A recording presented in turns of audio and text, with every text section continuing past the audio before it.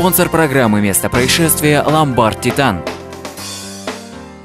Продажа дисконт техники, огромный ассортимент, низкие цены, гарантия, сеть городских ломбардов «Титан». Телефон 450707.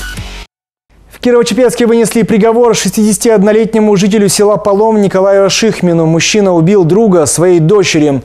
По словам обвиняемого, 43-летний потерпевший Алексей Иванченко стал избивать и даже душить женщину. Увидев это, отец решил заступиться и взял в руки разделочную доску. Вот так вот. И вторая нога тоже на кровати. Тоже на кровати. По рассказу обвиняемого, потерпевший Алексей напал на его дочь, бил ее и пытался задушить.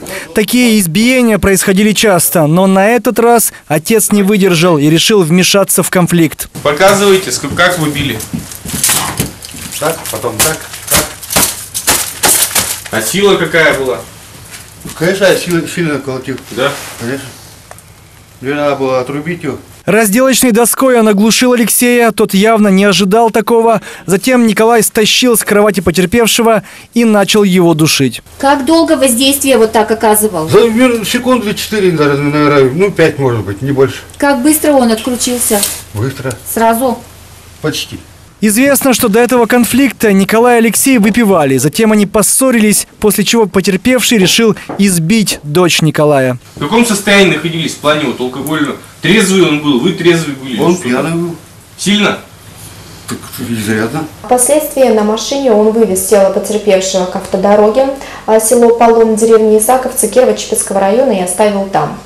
Вывести тело на обочину Ашихмину помог его товарищ Колобов. Именно он приехал на машине и помог вывести труп. Его также привлекли к уголовной ответственности за сокрытие убийства. Помогла тащить тело потерпевшего и дочь обвиняемого, но по делу она проходит как свидетель. Однако она не подлежит уголовной ответственности, поскольку является близким родственником осужденного Ашихмина. Она является его дочерью. В соответствии с примечанием статьи 316 Уголовного кодекса Российской Федерации, э, она не подпадает под э, э, понятие субъект инкриминируемого преступления. Давили ему пальцами на шею. Что вы преследовали? Какую цель? Что хотели? Конкретно, да убить. Убить хотели. Почему хотели убить? Как надоело уже за свою жизнь. Чем надоел? А дочку постоянно бил. В итоге суд приговорил Ашихмина к 9,5 годам колонии строгого режима. Также ему придется выплатить матери потерпевшего 1 миллион рублей. Колобову за сокрытие убийства назначили штраф 60 тысяч рублей и конфисковали автомобиль, на котором он перевозил труп. Приговор не вступил в законную силу.